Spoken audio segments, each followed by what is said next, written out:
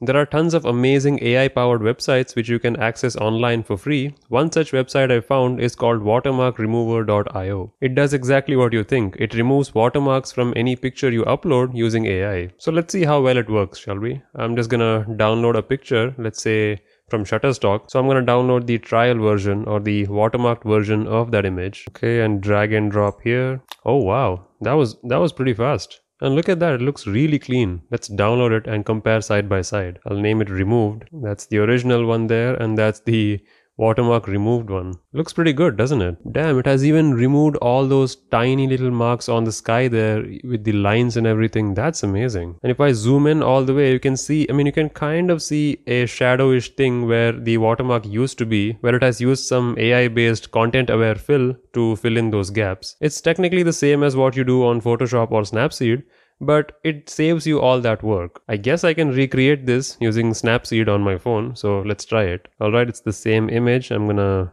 use the healing tool, zoom in. Um, okay, it's a little too aggressive for my taste, but I can't really change anything on Snapseed. You know? It'll take a couple of tries, but you can kind of get away with a good looking image but the point is this website does it for free at just one single click. You just upload the image, wait for it and download. That's it. And from a quality perspective, it looks pretty much the same. Although the file size has reduced from 2.37 MB all the way to 343 KB, that's a pretty huge reduction, but it has been compressed pretty well. Like you can't really tell that it has lost a lot of detail. It's still perfectly usable for, you know, websites and social media, maybe a small banner or something. Yeah, it actually got everything pretty well. In fact, it's better than what I was able to do manually. There are some paid plans as well, okay? The free plan that we have gives us 50 images per month.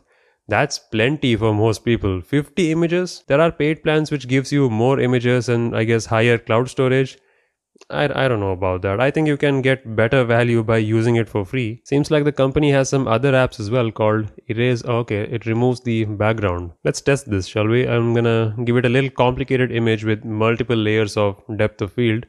Yeah, I mean, it struggles with multiple depth of field layers. It uses that background blur to identify foreground and background, I guess. Yeah, it's not working well. In fact, this is the website I typically use to remove background and you see it works better. But anyway, that's not the point. We came here to see the watermark remover. There's even an app for your phone. Yeah, it works quite well. It's fast, doesn't destroy the quality of your images and produces pretty good looking no watermark pictures. So go ahead, try out watermarkremover.io. It's free.